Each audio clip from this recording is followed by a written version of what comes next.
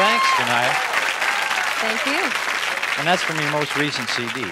Yes, it's called The Woman in Me. And in case anyone out there doesn't already know, yours is George? Time of my life. Thank you, Shania. We got to sell those records, right? Right. Now tell me what song you've chosen that represents a special time in your life. well, this song is a song that uh, I grew up listening to as a child. And uh, Tanya Tucker sings it. And uh, she's one of the singers that inspired me to become a country music singer. Well, I have a little different memory of this song. I'd borrowed my dad's pickup truck to go on my very first date to hear Tanya Tucker sing.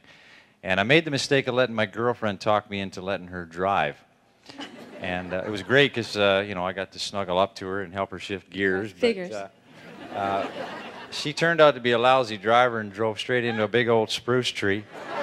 And uh, all I remember is driving home with one headlight shining in the ditch all the way, thinking, how am I going to explain this to my dad? Well, hopefully we'll have better luck with this song tonight, hope so. George. It's called Delta Dawn. Delta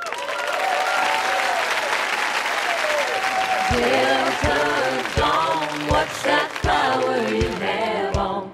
Could it be a faded rose from days gone by?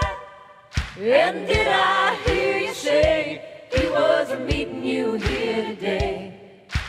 take you to his mansion in the sky.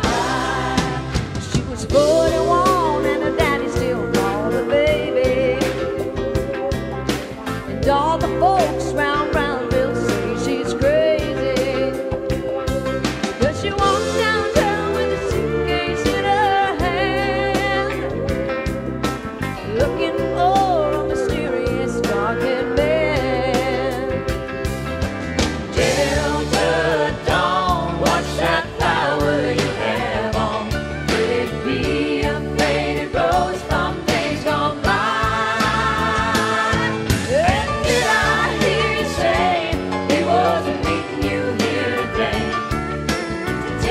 to his man.